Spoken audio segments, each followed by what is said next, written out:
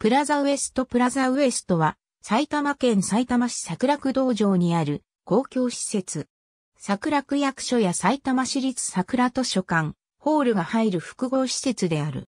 埼玉市が2003年に政令指定都市となり、桜区の区役所を新設することになった時、位置的にも桜区の真ん中で広大な建設用地を確保できる水田や空き地が多く残る鴨川堤防周辺の統治が選ばれた。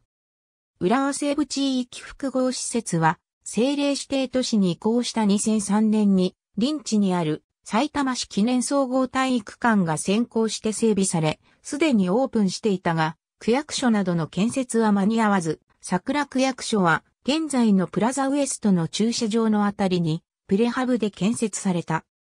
2003年9月から2005年2月の後期で、ゼニコ、谷口、弥生特定共同企業体によって建設され、2005年に敷地面積46,548.9平方メートル、地上5階のプラザウエストがオープンした。周囲には様々な種類の桜の木が植えられている。2010年12月17日には、埼玉市の景観重要建造物に指定された。東西で見ると桜区の端にあり、鉄道駅からのアクセスにはやや時間を要する。